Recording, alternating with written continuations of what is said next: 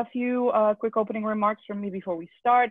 Uh, the webinar is part of a series of webinars put together by the Center for Global Workforce Management at SFU in Canada, the Center for International Human Resource Studies at Penn State in the US, our colleagues there, Elaine Farndale, Maya Vidovic, and Miguel Olivas, an ESCP business school in Europe. And I'm, of course, well aware that Europe is not a country, but ESCP has six campuses in six European countries, which makes that an apt reference.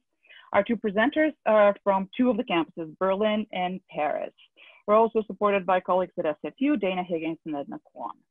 Today's session is being recorded and we will share the recording via various channels so that uh, it can be viewed by those who could not join us today because of a time zone or other commitments. Um, our webinar series was initially uh, motivated by frustration of all the conferences and research meetings that got canceled this summer and our desire to provide a forum for our HRM community to get together. But as we got the series underway, that frustration was replaced by enthusiasm. So we had one session at the end of June, uh, and now we're getting the fall talk started. In addition to today's webinar, there are two more planned for now, one in mid-October and one in November. So keep your eye out on all of the various channels through which we communicate. Uh, and these were the opening remarks. Now we move on to the main event. Uh, the title of today's uh, talk is The Cultural Content of IHRM, Recent Developments and Experiences from Digital in Teaching Innovations. And it's my pleasure to introduce our speakers, Dr. Marion Festing and Dr. Maral Muradbekova. Uh, Marion is a professor of HRM and intercultural leadership at ESC uh, in Berlin.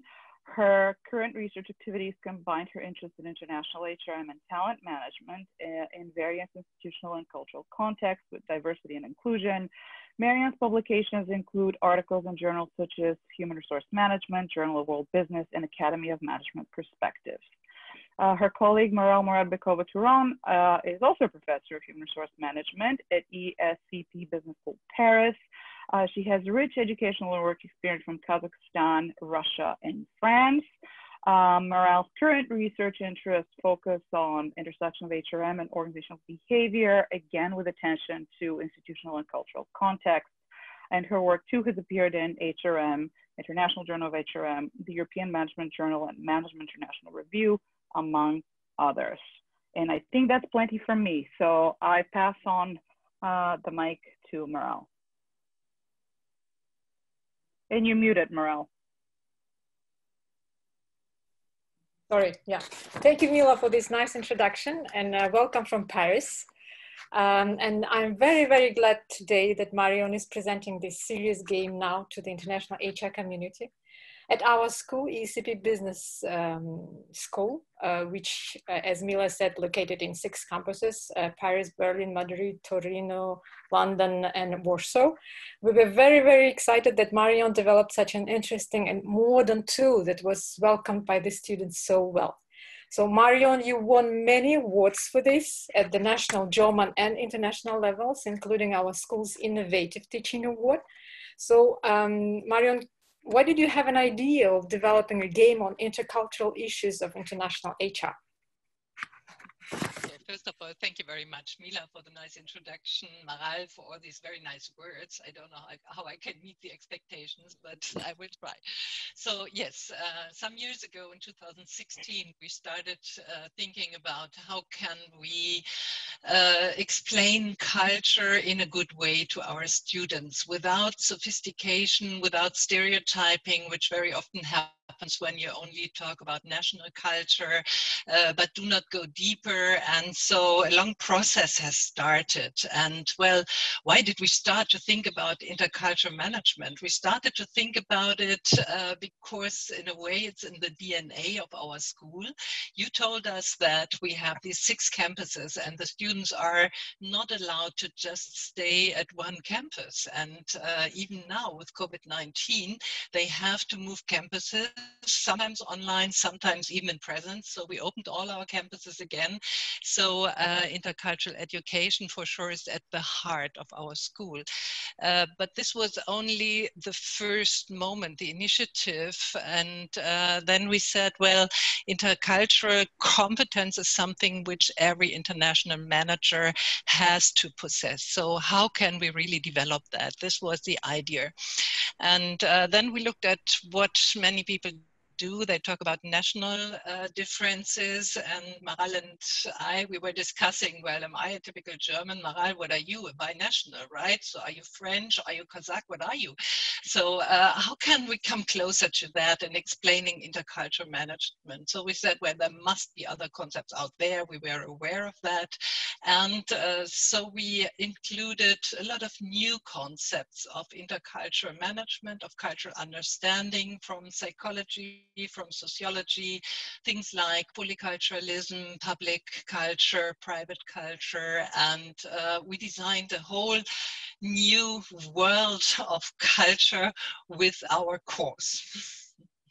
Thank you, Marion. So could you tell us more about the game you get the idea of developing a serious game and how does it work? Yeah, so uh, the serious game was an idea which came up together in my working group, and uh, I have a PhD student who is Tobias Schumacher, and he's an engineer. So of course he has a high affinity to, um, let's say, technical issues. And so we were discussing and we were thinking, well, the serious game can really be a very good alternative to teach intercultural management, but also intercultural issues in international human resource management. Uh, why? Uh, on the one side, culture is complex. I just said that. So it's not only national culture, it's organization culture, it's group culture, it's all its norms, its values. So there are a lot of new uh, concepts for culture. So we could map that through the serious game. And then the second point was uh, in terms of teaching. Uh, you know that we learn about cultural competence through cultural exposure, so being in another country, such as students or expatriates, so we learn a lot about culture. And the other way of teaching is classroom teaching. And uh, these are two completely ways of learning. And the serious game offers the opportunity to introduce a kind of real life experience in our courses. So we could also always do classroom teaching and in a very interactive way. And we know that it's very effective. But adding this real life experience with a serious game was something new. And so we said, well, why not trying that? Uh, by the way, we are the not, not the first ones to develop a serious game on intercultural management, but those we looked at are quite old. And as we all know, technology has advanced and uh, they do not really have an encompassing view of culture when uh, they are used for teaching. So third point, uh, why a serious game? Well, it's timely because uh, students want to learn at their own pace. This is what we saw. They want to learn when and wherever they can, but not when we decide to have course, right? So at least partly. And then we said, okay, the serious game could be a solution to that, right? It could be a solution to the trend of individualization in teaching and learning in our society. So why not trying it? So these were some of the ideas we had in mind when we embarked on this adventurous journey. Yeah, that's exactly. So, uh, could you guys give us some, you know, tangible impressions of this serious game so that we can see what is this actually? yes, I can, and I would like to share with you a video uh, which shows gives some impressions about uh, how um, the serious game works. And you will see that uh, the serious game is something quite big. So it's six hours of uh, teaching and these six hours, sorry, um,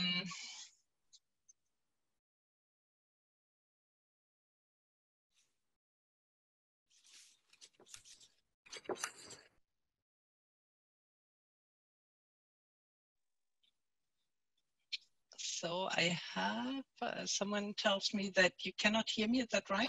Can you hear me? Yes, we can hear you, Marianne. Okay, very good. Uh, then I would like to start this year's game film, but before I wanted to tell you uh, how big the adventure is of developing such a serious game. Because on the one side, you need the technical knowledge. So we, we had help from a technical company from Vazaz. On the other side, you need a lot of academic knowledge. You need to have knowledge about the countries you are talking about, like we were talking about China, about Russia. So we had a lot of colleagues uh, who helped us with that. And of course, as I said, uh, Tobias, my PhD student, and the whole team were involved. So it was a really big adventure uh, to design this game. And now I would like to start it, the film.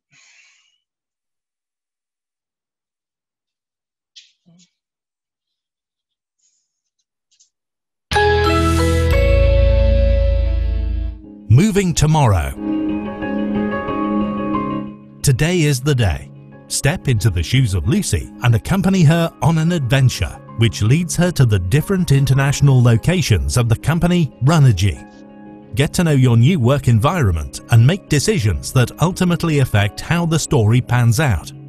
But be prepared, there is something going on at Runergy that endangers not only Lucy's career, but the whole company itself.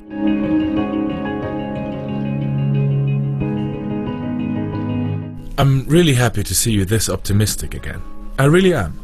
It's been a while and I think you're gonna rock at Runergy. But I hope that you didn't forget our little people. While Lucy's life and the narrative of the game evolve, you'll unlock insights which will help you make sense of your experiences and to learn more about culture and intercultural management. You have to study and revise by completing puzzles and making conversation with other characters. By steering Lucy, you will train your business and intercultural skills not only in the game, but also in real life. Get to know the latest insights from management science, psychology and sociology to understand the intricacies of intercultural management, national, organizational and group culture, cultural diversity, cognitive biases, global leadership and much more, all based on scientific knowledge.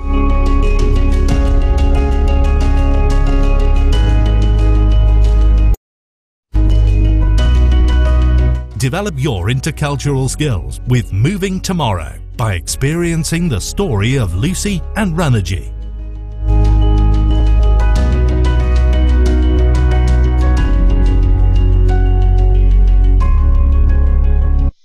Okay, uh, so you got an impression about the serious game. Um, yeah, looks very, very innovative. Yeah.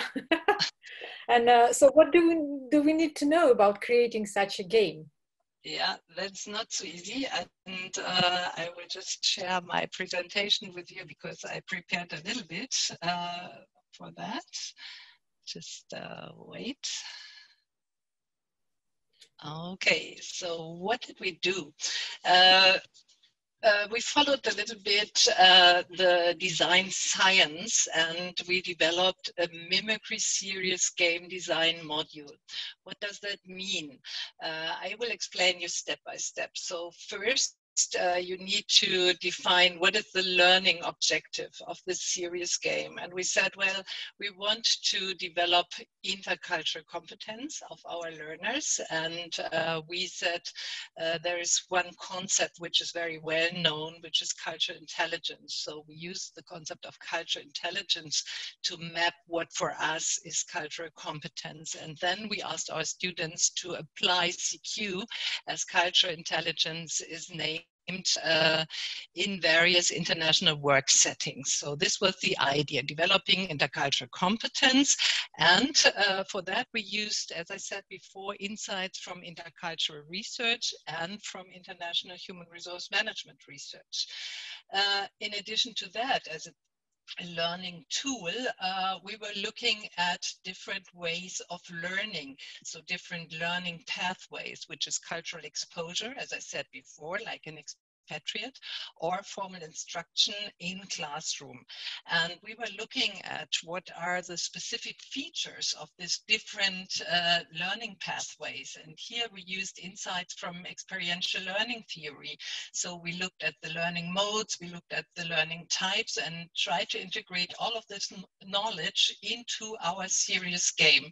And as we know, both, both are related, right? The ways uh, how you learn and the learn objective. And so far, what research tells us, uh, the results are very mixed. So culture exposure can lead in some studies to uh, culture intelligence, to all dimensions of culture intelligence, but other studies are not that positive. The same for formal instruction. So uh, we said maybe the combination in a serious game can help here. And uh, then we designed the game mechanics and uh, the whole game which means we really had to develop the story. I will talk about this a little bit later. And here we uh, used insights from ICT, so from design science. And we said, well, uh, on the one side, this is what design science said, says a uh, serious game has to be useful. So you have to reach the learning goal, the culture intelligence. On the other side, uh, you have to keep the learners engaged. So this is what we call the usability, right? So the enjoyment of playing the game and the attention that you're immersed in the story. So this was our starting point, and this was the really complex field of information we had when we started. And then uh, we designed the game, and the game is uh, six episodes for the first uh, game and then we did another game which is two episodes and you already saw that in the film. So it's about lucy. And just imagine all the small decisions you have to take. So how does lucy look like right? Is she uh, is she a white person? Is the main character a lady or is it a colored person? So we decided for lucy with the black hair and uh, she started her journey in a berlin start, startup company. And we wanted to map that in a very modern way. So we said we want to have a sustainable company. Runergy is producing shoes which are producing energy when you walk. So this is the idea and the organization form is not a traditional hierarchical organization but we said okay it's a holacracy yeah? They arrive and they have to find out what happened. There's no top down structure where everybody tells you what you have to do. So the first thing that lucy has to do is to start a contest. So she has to solve several problems in order to prove that she is a really really good employee of Runergy and that she can stay there in the long run. And to make it interesting, uh, there's a second person, there's Jim, and they are kind of competitors. They don't, do not know whether they both make it or whether it is not possible, right? So this is the starting point. And then the first two episodes, they experience what happens in Berlin in the startup, the norms, the values become clear. And then uh, the international assignment starts. And uh, there's one assignment to Russia where certain things have to be solved. There's another one to uh, China where we deal with the Chinese culture. And uh, then uh, Lucy comes back and she has to reflect. And uh, here uh, we want to get away a little bit from this national stereotyping. We call that sophisticated stereotyping. Uh, but we want her to have a very differentiated thinking about culture. And of course, the whole story has a major twist and uh, there's a big happy end, I can tell you, in episode six. Uh, and uh, yeah, then we decided to have a new game, episode seven and eight, which is more focused on OB issues, so on multicultural teams and on global and inclusive leadership. So this is the storyline. And then in addition to the storyline, as I said, we had quite a lot of learning content. So we wanted to map all of them within the story and we created insights. As I said, we have cultural exposure. So you're playing the game, you're in the world, you're working at Runergy, you are in Russia, you are in China, but at the same time, you also have this cognitive learning, right? So you get to know the different concepts and uh, you have to apply them. There are things you have to do throughout the game, as we have seen within the film. And then all the time we had in mind uh, the learning goals. Yeah, and of course, cognitive learning goals were important. Learning about the concepts, affective learning goals. So really. Uh, immerse into the story and this was really funny because some students at a certain point didn't speak anymore of lucy but they spoke about and i did that yeah so they re-identified with the story yeah and then our major goal was of course also to address the behavioral uh, dimension uh, because this is uh, very important that students also learn how they can change behavior. So here we see again some of the pictures we had in the film. So these are really major elements. So learning, cognitive learning about uh, issues that are relevant in uh, intercultural management, like norms. Um, then the puzzles, which make it a little bit playful and where you have to do things where you have to solve problems, uh, then you have to take decisions. And this is also interesting. It's decisions with consequences. So, for example, Lucy, and now I tell a little secret, right? Uh, she's discovered that there was insider training, trading in the company, and Olga gave her two options. And Lucy could decide for um, well playing the game with Olga. Olga promised her advantages for her career, or she could go to the CEO and tell that Olga is involved in insider training, trading. And uh, depending on how Lucy decides, the story would continu continue in a different way. So you experience in the game that your game really has, that your decisions really have consequences here.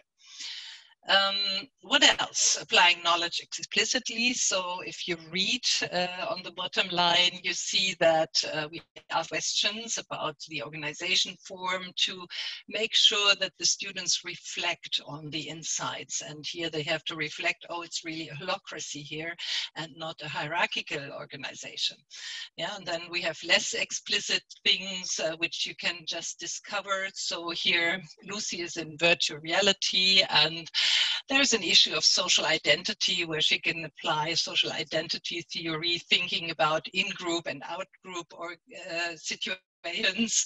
Um, and the last one is, of course, in order to keep uh, everybody engaged, uh, we always introduced uh, unexpected uh, events like, uh, for example, at a certain point you had to identify with another person when you were playing, which made it very difficult because you had to change perspective. But we did this deliberately because it's the experience of changing perspective, which is very useful in intercultural management right?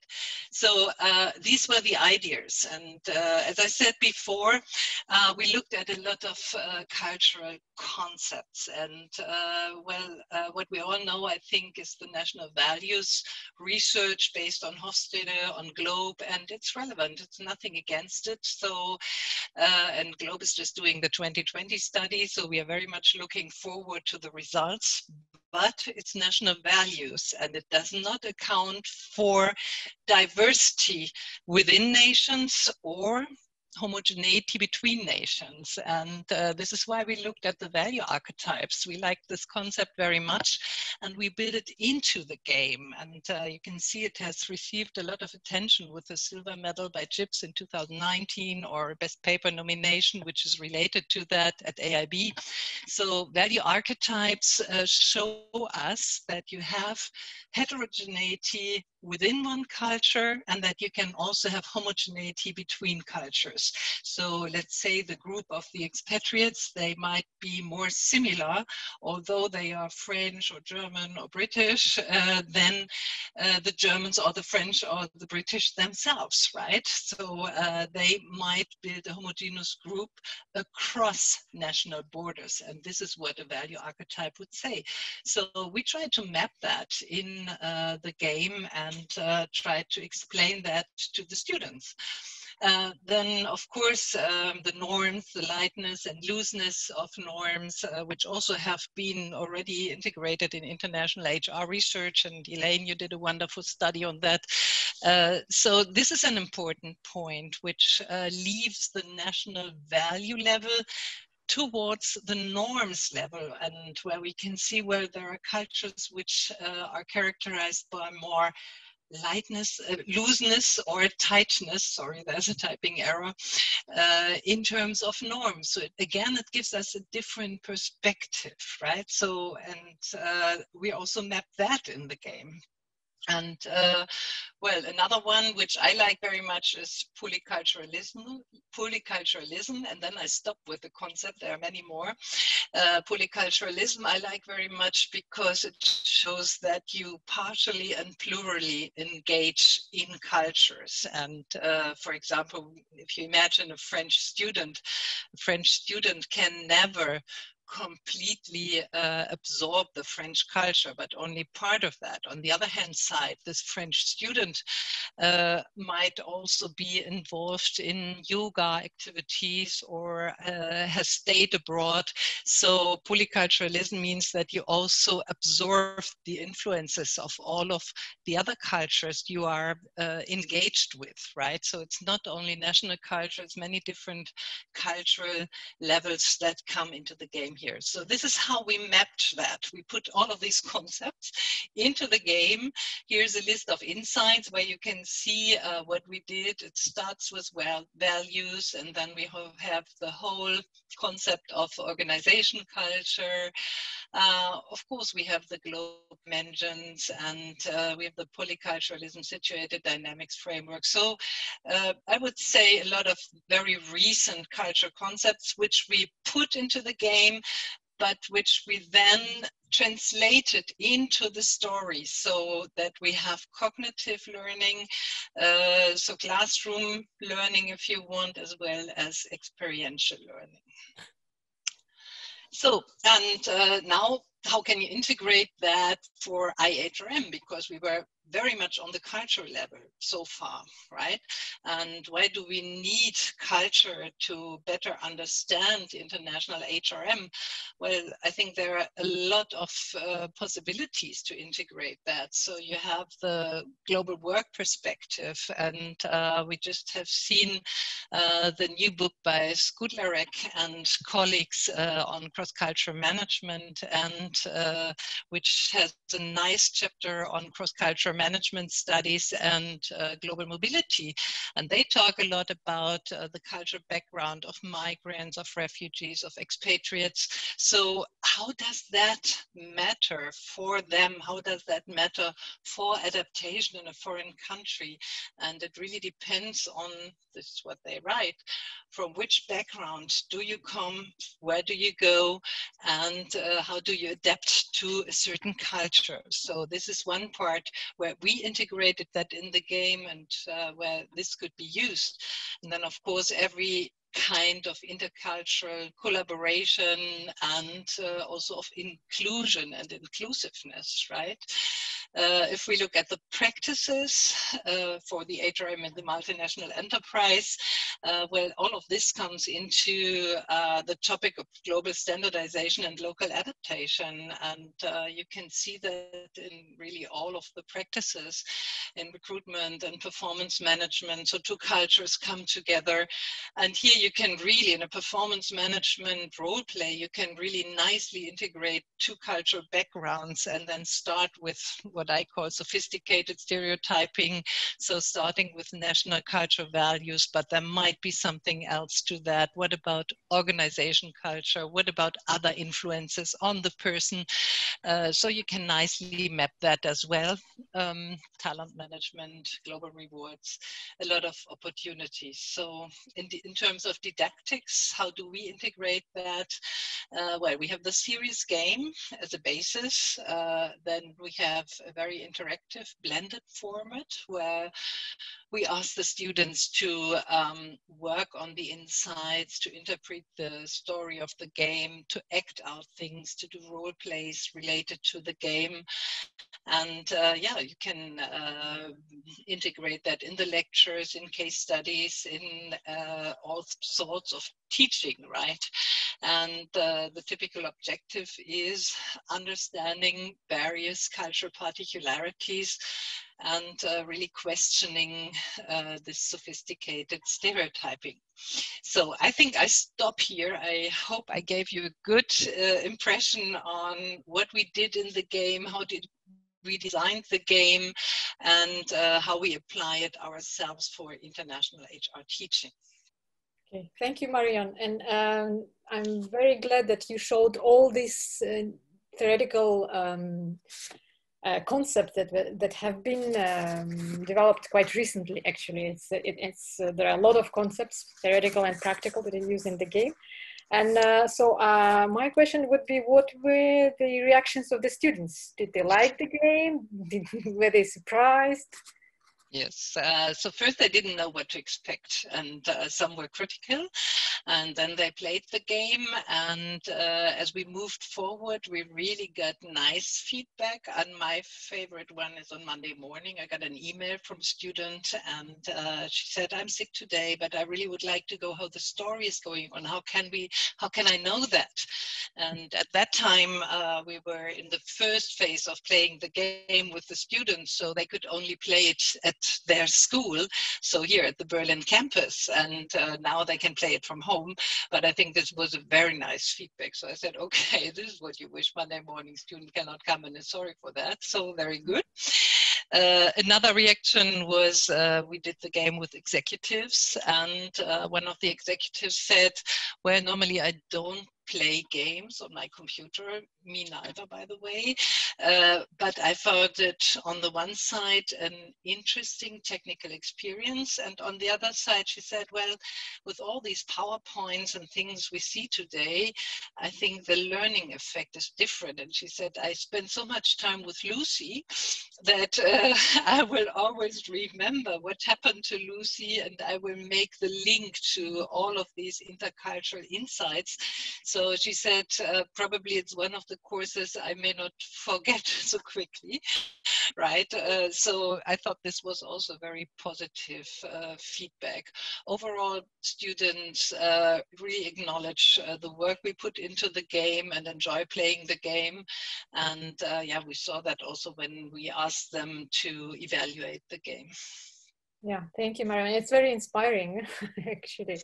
Um, I mentioned your teaching award earlier, but for me, you are, first of all, the researcher, actually. And I know that, of course, you conducted a study investigating the impact of this game on students. So yeah. could you tell us what exactly did you study? What are the results? Uh, mm. Yeah.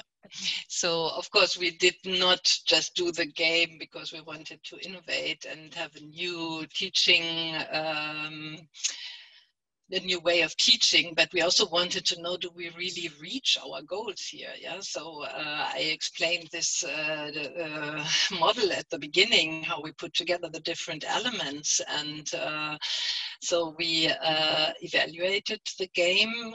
We did a quantitative study, qualitative study. We are still going on collecting data because it's really interesting. And uh, the first study we did was just asking students before and after the course and uh, to see whether their cultural intelligence really has increased because this was our goal, right? And uh, what we could see there was really a uh, difference between the cultural intelligence at the beginning and at the end, and uh, not only overall, but also uh, in all dimensions of cultural intelligence, which means metacognitive, cognitive, motivational, and also behavioral. And to have a behavioral impact is quite rare. So we were very happy to see that. And uh, then what we also saw is when people really immerse into the story, when they really identify with the characters, they learn much more. So uh, the degree of immersion, obviously, here is an important point, and uh, we did a lot to have people immersed in the story. So uh, in detail, we had actors uh, who were speaking the dialogues. We had music, which was uh, created for the serious game. You had some so we think that the scenery is very nice, and uh, so obviously immersion was was very high, and uh, this, as I said, was related also to um, developing culture intelligence. Uh, we then did uh, qualitative study because we wanted to know if we just ask students, what have you learned? And we let them write reflective essays, right? So uh, we said, what, what have you learned? And then we coded these essays and uh, according, of course, to our learning objectives, right? We wanted to see uh, what do they really think have they learned And uh, we saw that, uh, which we did not expect, that especially the metacognitive dimension seemed to be for them very important. Uh, we were a bit disappointed because they said the motivational uh, part was not that high. This is what we expect expected. We expected higher results on the motivational dimension of cultural intelligence.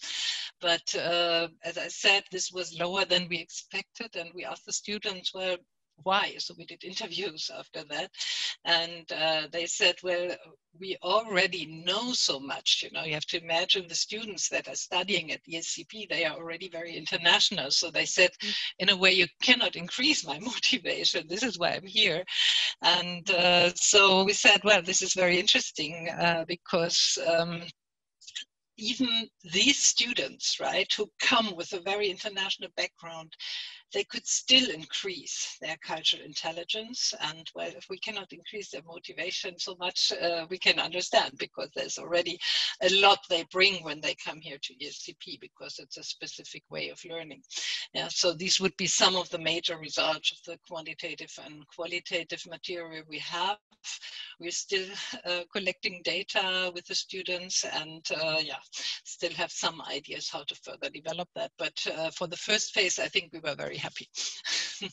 Great, thank you, Marianne. And uh, I know that the publication process is too long, but still hope to read your papers very soon in yeah. good journals. Okay, so uh, the question before my last question, what is your overall impression after having developed and introduced this serious game? Would you do it again? Would I do it again? Well, uh, when did I start that? Uh, I was a lot involved in administrative functions at ESCP, and in 2017 I stopped that. And then I was wondering, what can I really do? What would I like to do to contribute? And I had the idea to uh, do that, right? Because I was interested in doing something which really has an impact. We have the feeling it has an impact, and it's also related to our inclusion research. Um, so uh, how can you create a more inclusive environment? Uh, so I would say definitely yes. Uh, so for me, it was something I was wishing to do. The student feedback is nice. Obviously, the results are nice. Uh, but what you also need to know, it keeps you busy for quite a long time, and you need a really, really good team. You need a lot of colleagues who help you with that. And Maral, you helped us with the Russian culture, right? So that we do not make a mistake in mapping all these issues we have written there.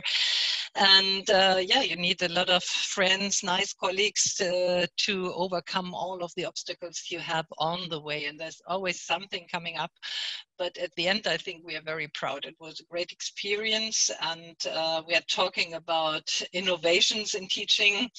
Um, I think it's worthwhile uh, to engage in these teaching innovations because the only way, from my perspective, we can move forward in these times of digitalization uh, and in meeting the students where they, I would say, unfortunately, spend uh, a lot of their time, which is with mobile uh, devices, right? Uh, so yes, the answer would be definitely yes.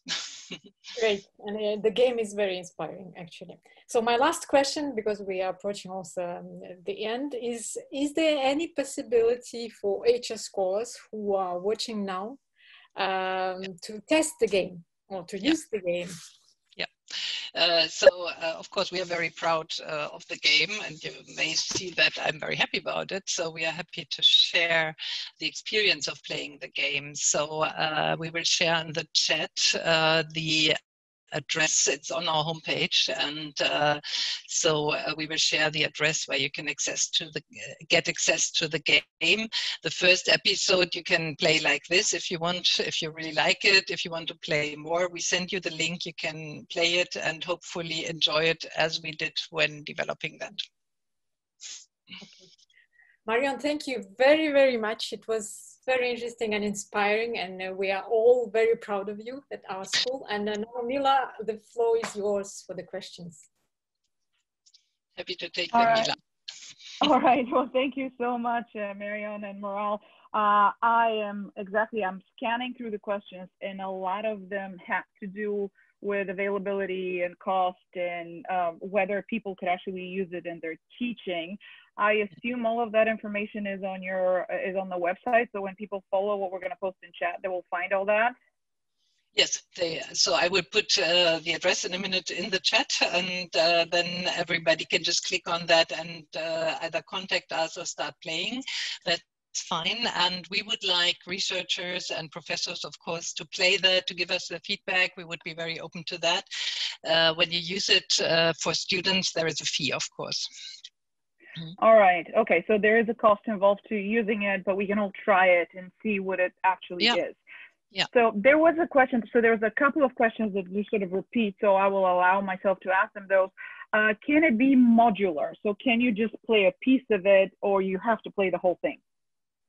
Um, uh, there are two pieces and you Mhm. have to play the whole uh, one thing and the other thing so because it's really a story which is across six episodes yeah and Mhm. uh, you, it would be like stopping a movie after i don't know 60 minutes you wouldn't know the happy end so uh, I'm glad to hear there's a happy end. That's that's very encouraging. yeah there is one. So I, I cannot of course disclose because then it's not fun playing it anymore. But uh, yes uh, so you have to do the six hours but independently from that uh, the second game moving tomorrow is on global teams and global leadership. And uh, this is independent from the first one. It's always better. They build on each other. It's the same characters. Um, so i would recommend doing first the first one and then the second one. But uh, you can play it without having done the first one hmm Well, the, there was another question that had to do with level of education. So, Mm. uh, is that something designed uh, for people in, in the graduate education, or can it play out well with undergrads? And another semi-related question to this is, uh, in your experience, does that work with people with international experience, or even people without international experience can make use of the game? Yeah. Um, so as I said, it's not only about national culture values. So uh, you Mhm. can use it for both target groups. And we were even afraid that our groups, they are already so international. So would they really benefit? And we found that Mhm. so far, uh, it would be very interesting to find a test group which has less international experience than our students because we just don't know. Yeah.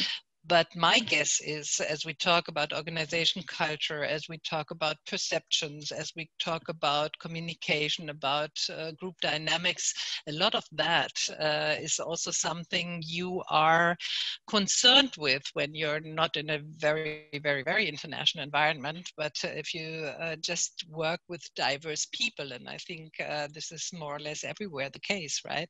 So, but we would like to test it in such an environment. We don't have that here at ESCP.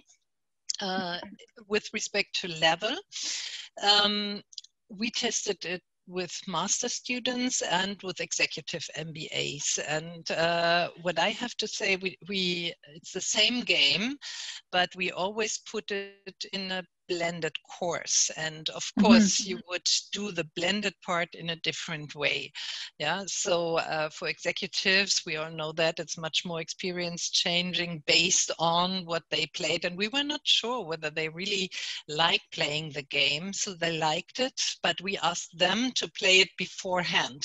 So we wanted them to come with the game experience and then build on that during the course. Uh, in the master courses uh, we do this partly. So partly they play at home partly they play at school.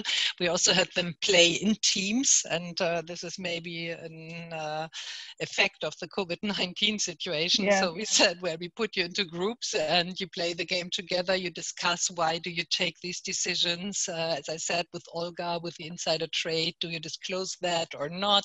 What are your reasons? Uh, so we experimented with different ways. Uh, as I said, I don't have experience now with a bachelor, but I think it really depends on if you do it in a blended format, how do you design the blended format? For the game itself, I mm-hmm. think everybody can play that, but then it's a question how do you apply it? Do you apply it? Do you let them let's say work on the insights to what extent do you um, integrate that in an international hr course which of course requires you to have more knowledge on hr already So uh, I think uh, the game itself works for various settings, but you have to see how you frame it. Right, yeah, and one of our latest questions here has to do with whether it might uh, work for another course like international supply chain or international yeah. strategy if you cover those pieces of intercultural um, uh, skills development and so forth. So it, it you can modify the game to your needs is what I'm hearing. Yeah. Yeah, exactly. Okay. So, of course, we have done it a bit more with an international HR perspective, mm-hmm. but yes. we also designed modules where we said you apply all of this now for marketing, or you could also do it for supply chain management, mm-hmm. right? But uh, this would be in the blended part of the course then. Mm-hmm.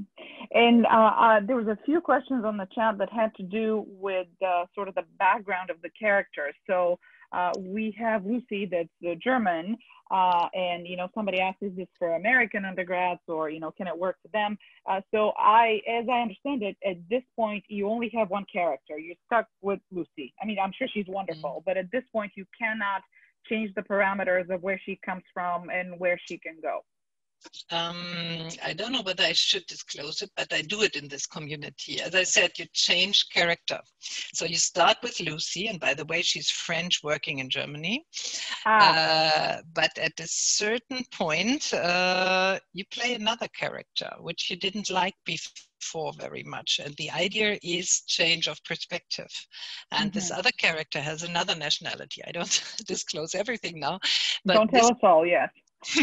this should help, you know, to having this experience of changing perspective. Oh, okay.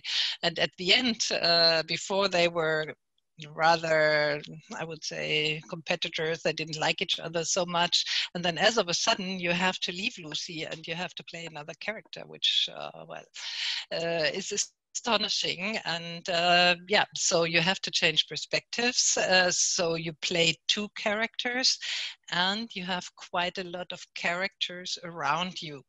Um, so in the second game. Uh, the scene is India. And there you also have Americans and you have Lucy again. Yeah, so she does her career. As I said, it builds one, or, one step by step. Um, but uh, yeah, you have various characters and uh, sometimes you have to change perspective. All right. Well, there was. Uh, I'll. Uh, I have only maybe one more question on the game itself, and then I have a couple of more general questions to you.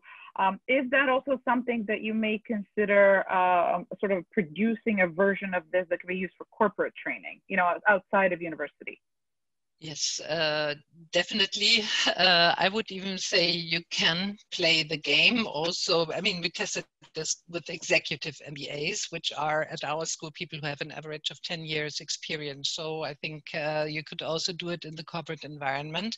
And then it all depends on how you package that, right? What do you do with that? You could also work on a specific organization culture or specific things or have a team building, multi multicultural team building based on the insights you get, right? Uh, so as I said, with the executive MBAs, it worked, and uh, it's just that we haven't done it in a customized training or something like that so far, but uh, it's definitely the goal to test that, but we haven't done it. Mm-hmm. Well, I mean, your timing couldn't be more apt with uh, COVID 19 and uh, moving to online teaching. Uh, but uh, my question to you is Is that the future of IHRM teaching, uh, creating uh, digital innovations like this one? Um, well, I like very much classroom teaching, so I hope mm-hmm. it's not future. But uh, on the other hand side, I think it could be a very interesting element, and it cannot replace all our teaching, and uh, probably we all don't want that. But I think it's a very timely element of teaching uh, to integrate that. And as I said, uh, the learning goals yeah, the learning uh, pathways of having a kind of uh, virtual cultural exposure and classroom teaching at the same time lead to quite good results. So uh, I think integrating them is fine.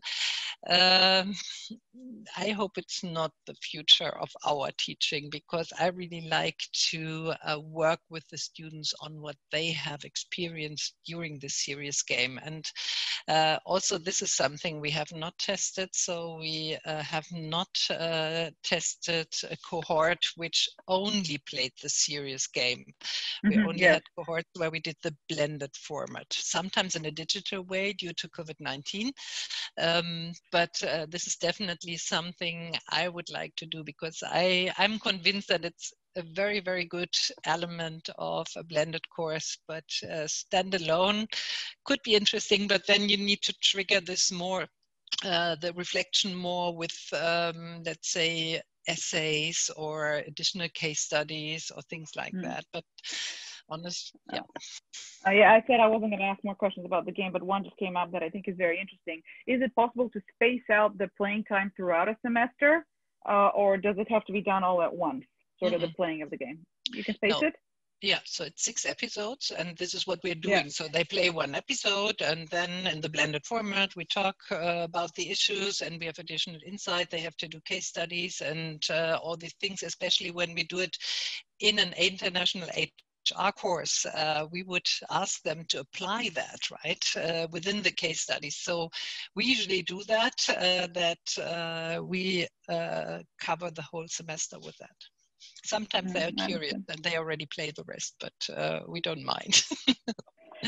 so, what was the most uh, challenging aspect of developing this, and what was the most exciting aspect of developing this? And if uh, if people were to to entertain the idea of developing something in whatever area they work for, what are your think about these things list? Mm, so I start with the last one. Uh, so um, what was the best thing was the first class with the students because mm-hmm. we were just okay. How will that work? Uh, and uh, to see the reaction. So this was really, I think, and it was positive. So it was the best experience. I think that on the way we were sometimes very lucky because we had really, really good partners, but there are a lot of things that can fail. And mm-hmm. uh, we completely underestimated the amount of work uh, of writing the story, of writing the insights, of mapping it. You know, you write the dialogues, and uh, I was very lucky that, uh, especially Tobias, but also other uh, uh, students could help me with that. Yeah. Mm-hmm because it's really, really a very, very, let's say, encompassing work. Yeah. So, mm-hmm. and you have to know that it's rewarding, but it's encompassing. How long did it take you to develop beginning to end? I don't know you're at mm. the end, but from the moment you conceptualize it and had the idea until the moment where you can mm. actually do it in the classroom, what period of time are we talking about? Yeah so we started in 2016 with the idea. We got the money in 2017 money is important by the way. Mm-hmm. and uh, we started one and a half years later uh, in at the end of uh, 2018 to introduce that into our courses so, uh, but the period, let's say, I would say between 2016 and 2018 was uh, dedicated to developing the game. Yeah, 1st mm-hmm. with ideas and then finding the money, finding the partners, and uh, yeah, going there. All right. So uh, it's not for the for those weak at heart. You have to invest a considerable amount of uh, time and, and resources yeah. to do it. Yeah, okay. definitely, definitely. Well, we only have two more minutes left. So I um, wonder if you can just sort of give us a, um, you know, a piece of advice for those of us teaching international H- HRM uh, today. And this, I, I'm sick of the phrase challenging time. Uh, but in those challenging times, what, what, you know, if you could share your piece of advice to, to succeed in the classroom teaching that, here's my recommendation. Other than mm-hmm. try the game, I get that. Mm, okay. Um, so my advice is always be as interactive as possible. Involve the mm-hmm. students mm-hmm. and let them develop things. And uh, this uh, this interactive part, I think, is very, very, very important uh, to get students engaged. And uh, you don't need a game for that. You can do a lot of other things. And mm-hmm. Uh, we are very lucky that uh, now there are many, um, let's say, exercises out there, right? Uh, so role plays, case studies, whatever. And uh, I wouldn't mind investing the time also as a teacher to work with practitioners on that, to develop my own material, but um, really engage the students. I don't know whether this is a secret. I think it's more yeah, well understandable, but in terms of uh, didactics, uh, this is, I think, the key to success. Mm-hmm. Can you teach uh, international HRM or culture and cross-cultural competence without exposure to culture?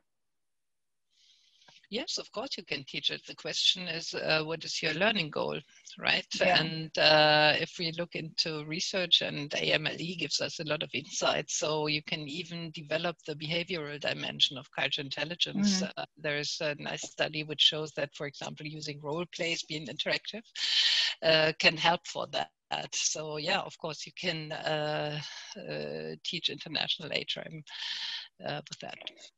Well, I'm very optimistic after this. And if our comments were uh, any indication, people are very excited about trying this. So thank you so much for sharing this. Uh, I did note you said that we will post the link in the chat. Uh, and I believe that comes from your end. Uh, I don't think we have that link. So mm -hmm. will you be posting it in the chat? And of yes. course, uh, everyone attending and listening, we will send an email after the event where we will include a link to the recording and we will also include the link to the game as well. So if you don't catch that, it will come to you. Uh, we will send you that in the next couple of days after we manage to get our recording organized. So uh, rest assured that you will have access to that even if you don't see it now. So okay. I'm sending it now to thank you marianne everybody and in case you don't find it there we go i see it now so if everybody that's still with us if you go to your chat window uh, she had just uh, she had just uh, sent a link to this and please, we are still in the phase of trying everything, changing things, uh, not the whole game, but if you have feedback, uh, we would welcome that very much. We would be very interested. All right. Well, thank you so much, Marianne, for an exciting presentation. This really, uh, you know, gets my brain thinking about how we teach HR and what wonderful innovations can be made. So this is great. I cannot wait to, to play it. I, um, you know, I'm already thinking of being Lucy. Uh, so I'm very excited and I hope others are as well. Um, it, we're now two minutes past our allotted time. So I won't keep you too much longer. I do want to uh, reiterate that this uh, talk was part of series. Um, we do have a recording of our first webinar that took place in June, in which Dana Minbaeva, Helen De Cieri, and Angelika Zimmermann discussed the relevance and the future of HRM during COVID pandemic. Uh, we also have a seminar, a webinar scheduled for October 15th, when Alena Ledeneva, Ledeneva from the University College London School of Slavonic and Eastern European Studies in the UK uh, we'll give a we'll give a talk on the invisible dimensions of human resource management in formal networks, institutions, in places in international context. Information about this will be distributed shortly. Uh, it will probably be the same time. So basically, we will see you in a month. Uh, and meanwhile, get in touch. Uh, we will uh, post uh, a link to this on LinkedIn as well and on the websites of the various schools. Uh, with that, I say uh, thank you to our presenters. Uh, thank you to my colleagues involved in this. And uh, more than everything, thank you to all of our participants. Uh, we hope you found this as useful as we did. So see you in a month, everyone. Thank you very much, Mila. Thank you very much, everybody. Thank you very much, to the participants, also from my side. Bye-bye. Thanks. Bye.